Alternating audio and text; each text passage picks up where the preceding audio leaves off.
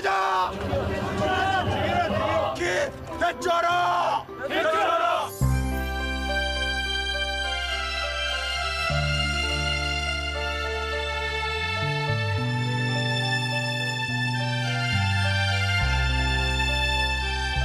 For many years, North Korea has been considered a closed country, and there is little knowledge in the world about its people and the way they live.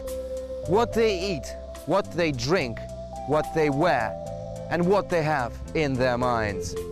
I am Alexei Rashevsky, and I'm going to tell you in this special report.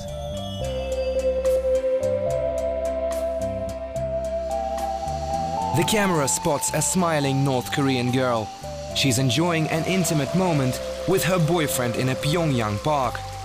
It is quiet and peaceful here, just like it's in the rest of the country nowadays. But it hasn't always been this way.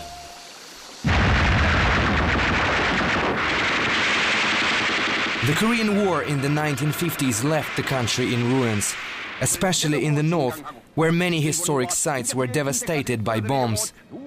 Pyongyang also suffered greatly. The United States dropped 428,000 bombs on its 400,000 population.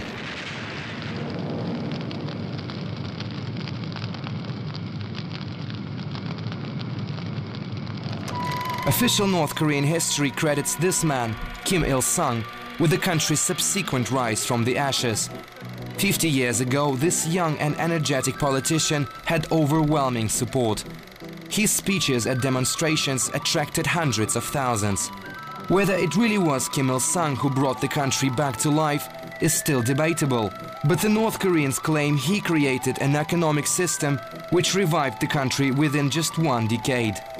In order to encourage the people to work harder, the government had to find a hero. So it looked to a legend for the answer.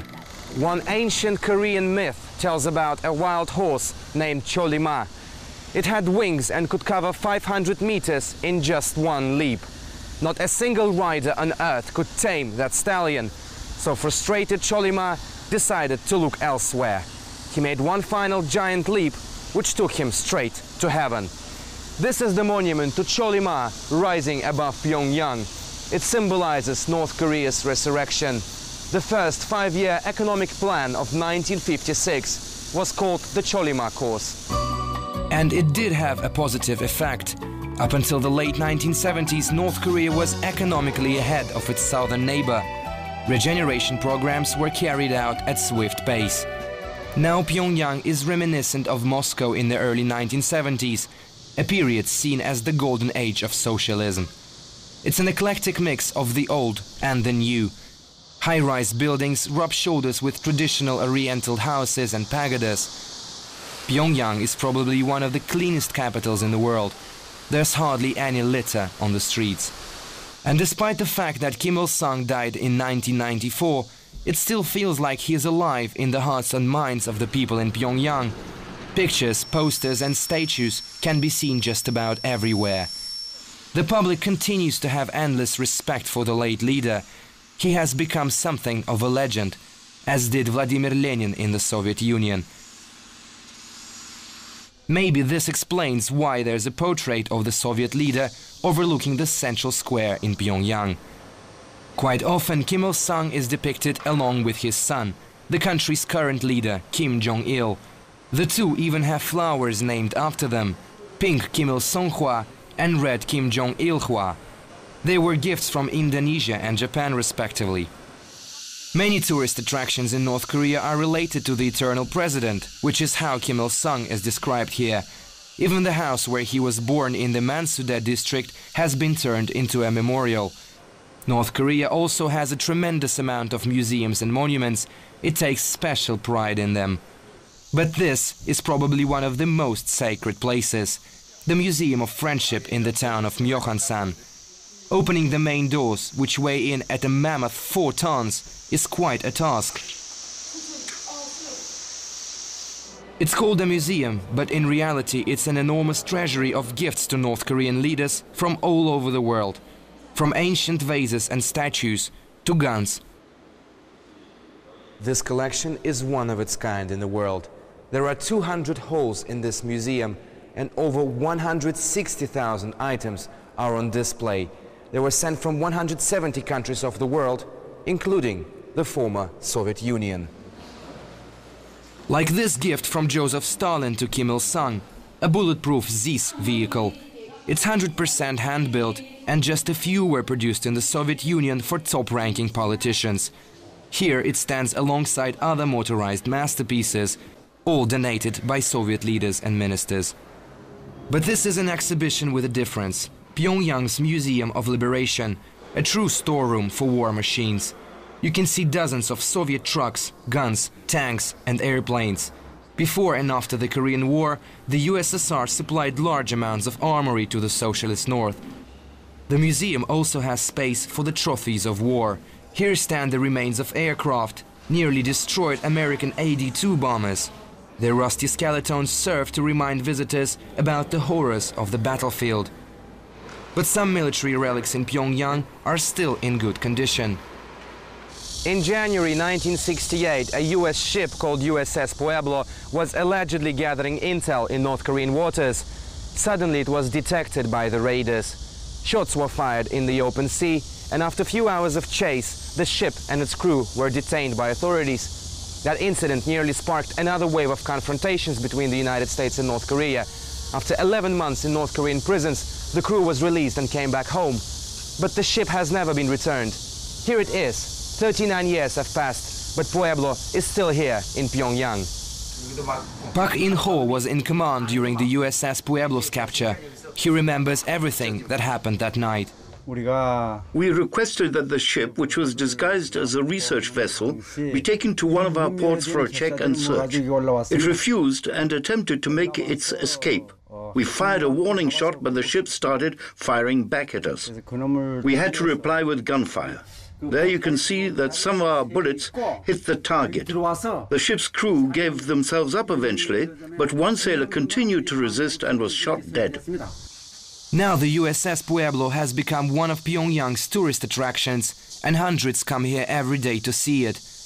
It now has changed its name.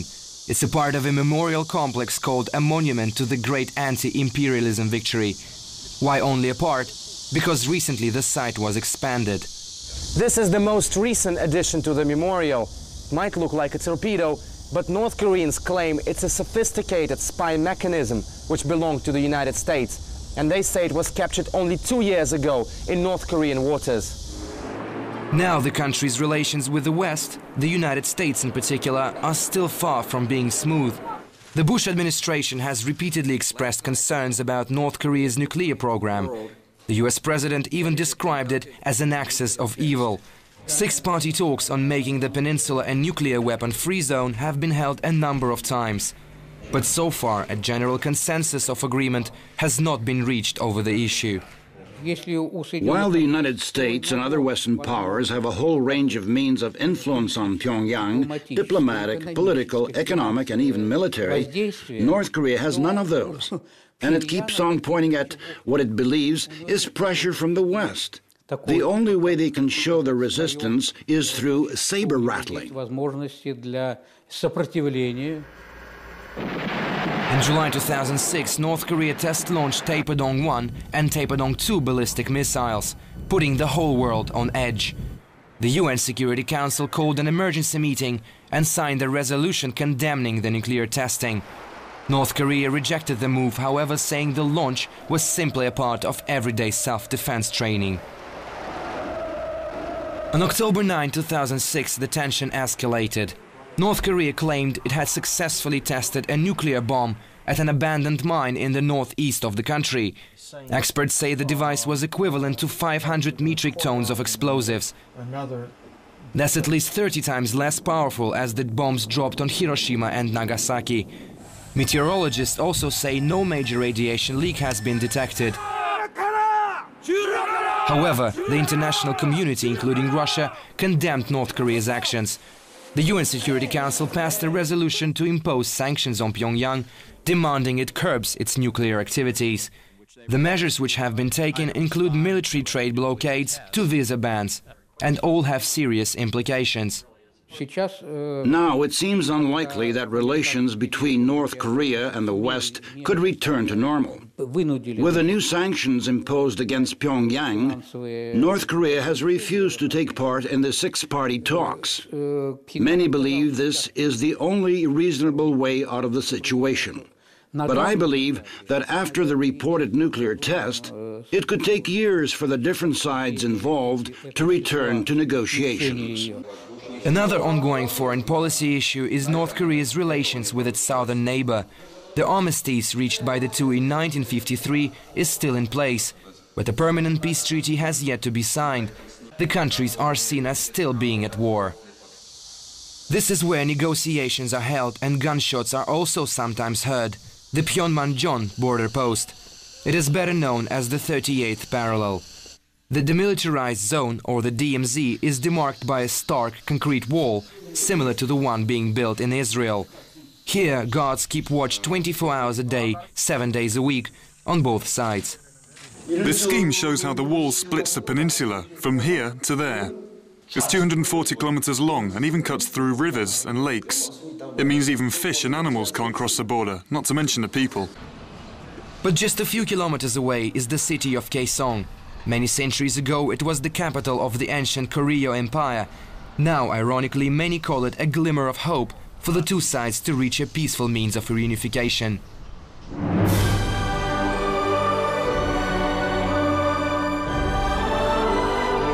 A new millennium has arrived. A new dream will come true. Stand in the center of the economy of the Far East. Unite the South and the North. The dream is coming true at Kaesong Industrial Park. This is a promo clip of the Kaesong Industrial Park, the first major collaborative economic project between North and South Korea. Located north of the DMZ, it has direct road and rail access to Seoul. Its construction started in June 2003 and a year later the industrial park was opened. Now more than 30 South Korean companies are building factories here, which will produce goods from shoes, clothes and watches to machinery.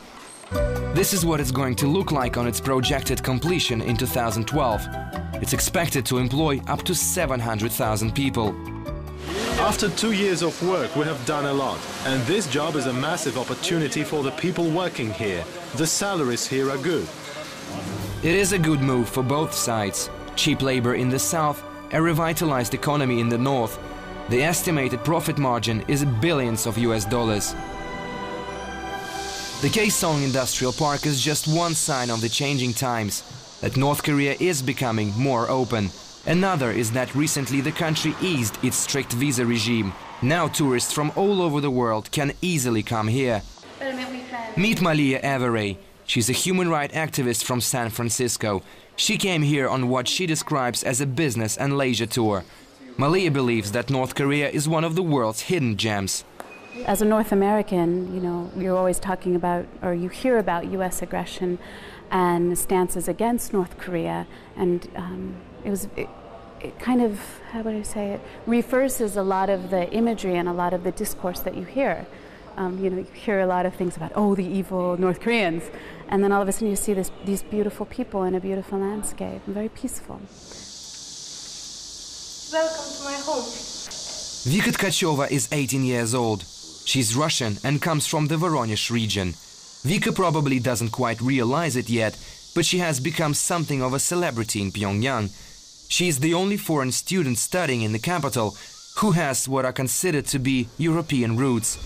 Her grandfather worked here half a century ago and inspired her to come to North Korea. Now Vika is working hard, learning Korean from scratch, so she can enter Pyongyang's pedagogical university next year. Watching Disney cartoons in Korean is just one way of learning the language. When I came here, I knew nothing about this country. At first, it was very hard. The complicated language, a different reality. I had to communicate using gestures. But now I'm being treated well here. Fellow students help me a lot. And to me, this place is much better than I thought it would be. Students at the country's numerous universities and institutes study day and night. Like these laborers from rural parts of the country poring over textbooks in Pyongyang's central library. And it has become much easier to study now, as students use computers with internet access. Sung Champa is fifth year student at Pyongyang's Polytechnic University. She believes her education gives certain guarantees and that she will get a good job when she graduates. You know, it's not a secret that we're living in a high technology world and you have to learn how to work with it to survive. I'll become an IT engineer after graduation, and I know that people in my profession are increasingly in demand every year. North Korea is one of the few countries where the pioneers movement still lives on. For many years, it also existed in the Soviet Union. It's a children's organization which prepares them for the outside world. They join at the age of nine. The children are taught to walk in straight lines and wear red ties, which is a distinctive feature of the organization. The pioneers meet after school in different social groups. This is where their love of the arts is being fostered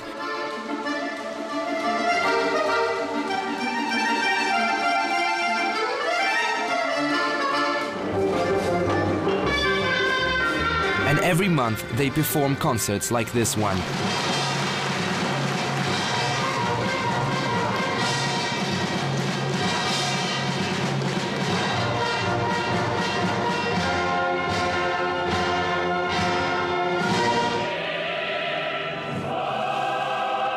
But this is a top artistic achievement for each and every one of these youngsters, the Arirang, a colorful festival held every year on the 15th of August.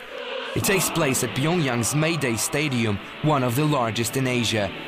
More than 100,000 people stage a spectacular dance after months of rehearsals. Each part of the festival represents a certain period of Korean history. The dancers wear diverse traditional costumes, which all differ in some way. As in education and public performances, the North Koreans are hard workers across the board. They have managed to execute the extremely difficult task of building an underground system in Pyongyang. The capital's hilly landscape was just one stumbling block which had to be overcome. The workers literally had to dig through solid rock to create the tunnels. Now the two-line metro has become one of the most popular modes of public transport. However, its passenger turnover isn't that high. Pyongyang's underground looks just like in Moscow. It's spacey and very clean. There's only one difference. It's not as heavily crowded during the rush hour. And I'm about to take a ride.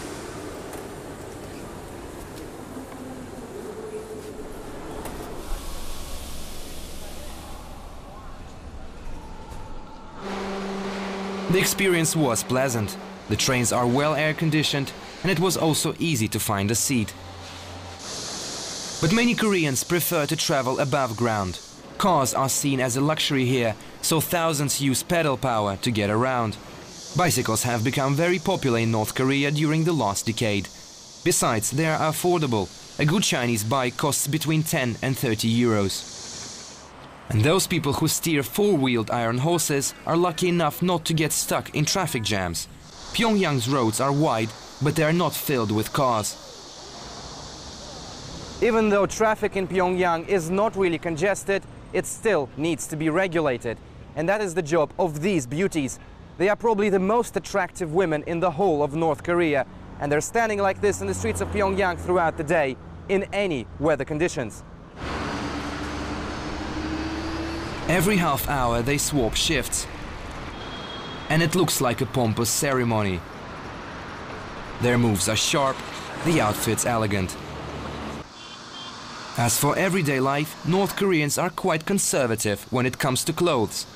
The men are dressed like this man, smart trousers, usually black, topped with a white t-shirt or short-sleeved shirt.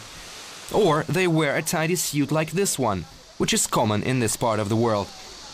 The North Koreans say they're good all year round, cool in the summer and warm in the winter. Women's clothing is also quite plain, except for holidays and high days, when they put on colorful traditional outfits, which have some similarities with those worn in Japan. But there is one attribute which definitely belongs to North Korea. This is not a souvenir and you cannot buy it in a shop. In fact, it's practically impossible for a foreigner to get one. It's a limited edition badge of Kim Il-sung. It is given to every North Korean over 18 years old and the whole nation wears this badge here on the left side of the chest, closer to the heart, symbolizing their eternal respect for the leader. A few years ago, people wanted to make similar badges from images of Kim Jong-il, but the leader rejected the idea. As for the food, it's traditional Asian cuisine, spicy noodles and different types of meat. In recent years, a large number of restaurants have opened in Pyongyang to suit all tastes.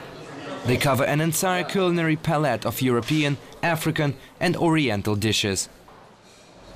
I'm now dining out at one of Pyongyang's best steakhouses.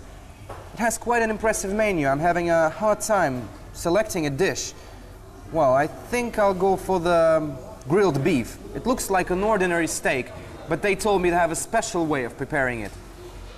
Barely five minutes had passed before a waitress arrived with a plate of sliced raw beef, lit a small burner in the center of the table, and cooked it right in front of me. The result was surprisingly delicious. Okay, I'm taking this little piece of beef off the stove. They say it comes best with sauce, so let's try it.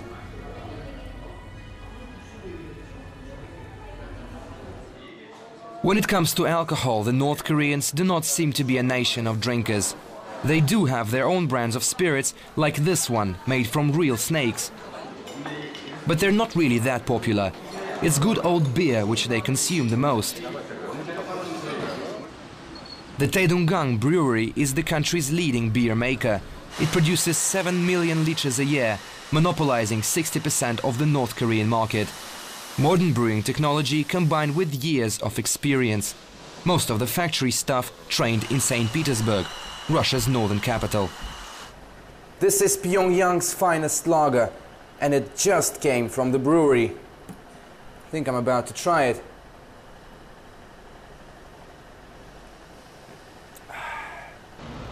But Pyongyang, just like the rest of North Korea, does not boast a thriving bar scene.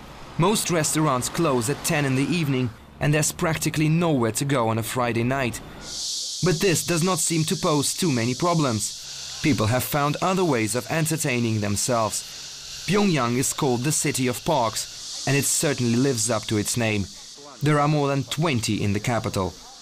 People visit them to play games, and what could be better than having a rest in the midst of such stunning scenery?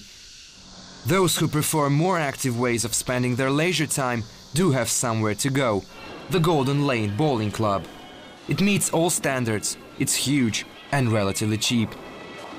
This club has as many as 40 lanes and it's always packed with people. And thanks to this place, bowling has become one of the most popular sports in Pyongyang.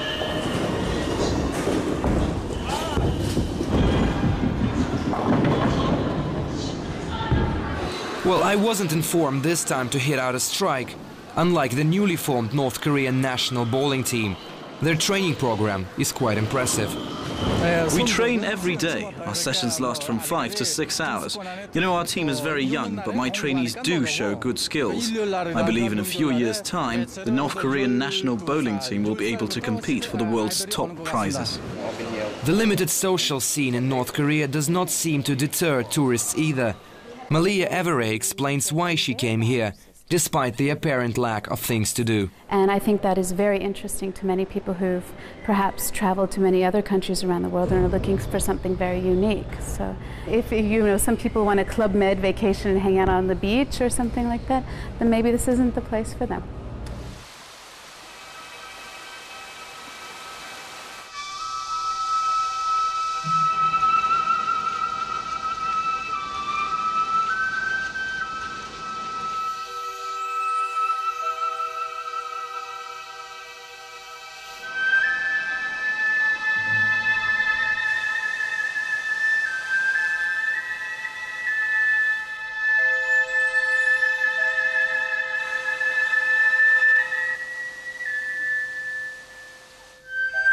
The monument to Juche, North Korea's official state ideology, stands alone in a huge square overlooking downtown Pyongyang. In Korean, Juche means self-reliance, where one has to depend on one's own strength to make both the self and the country stronger. Some might say this is merely a memorial, but it could be considered to have a deeper, symbolic meaning. Maybe this torch actually represents North Koreans, isolated but self-sufficient at the same time. And for now, it really seems this is how they prefer to live.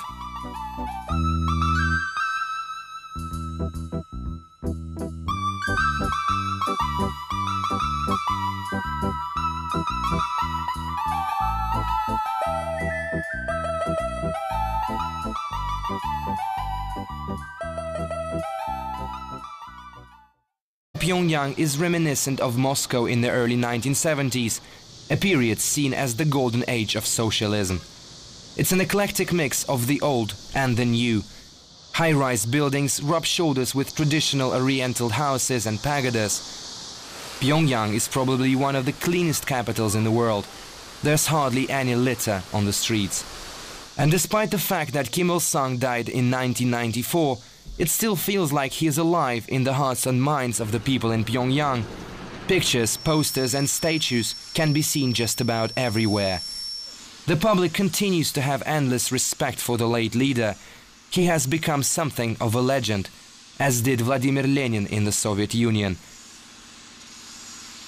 Maybe this explains why there's a portrait of the Soviet leader overlooking the central square in Pyongyang. Quite often, Kim Il-sung is depicted along with his son, the country's current leader, Kim Jong-il. The two even have flowers named after them, pink Kim Il-sung Hua and red Kim Jong-il Hua. They were gifts from Indonesia and Japan respectively. Many tourist attractions in North Korea are related to the eternal president, which is how Kim Il-sung is described here. Even the house where he was born in the Mansudae district has been turned into a memorial. North Korea also has a tremendous amount of museums and monuments. It takes special pride in them.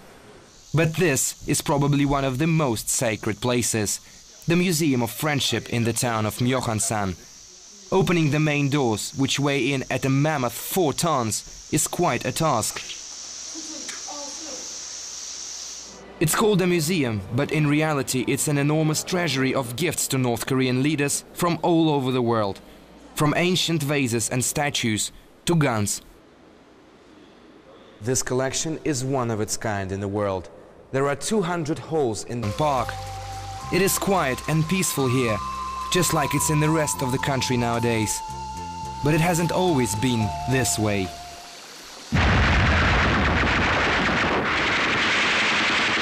The Korean War in the 1950s left the country in ruins, especially in the north, where many historic sites were devastated by bombs. Pyongyang also suffered greatly. The United States dropped 428,000 bombs on its 400,000 population.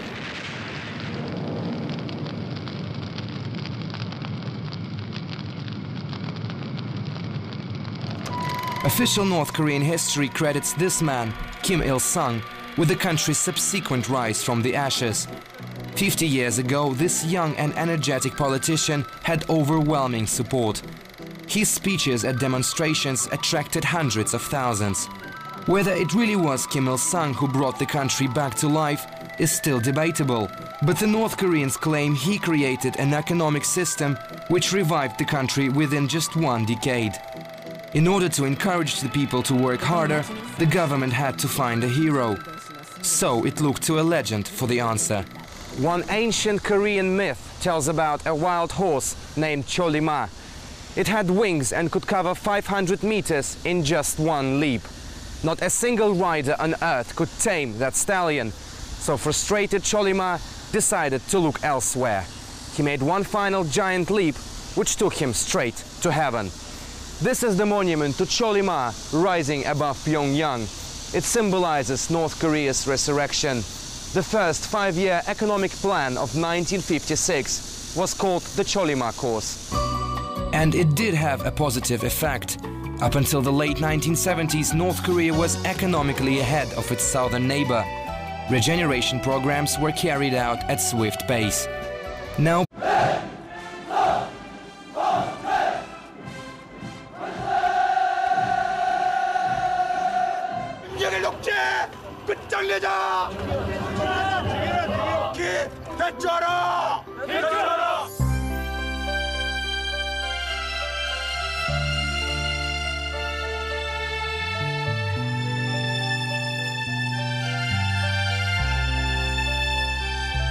for many years, North Korea has been considered a closed country, and there is little knowledge in the world about its people and the way they live.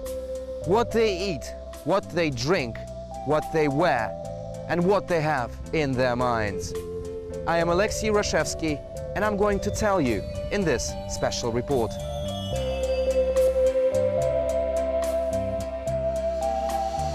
The camera spots a smiling North Korean girl. She's enjoying an intimate moment with her boyfriend in a Pyongyang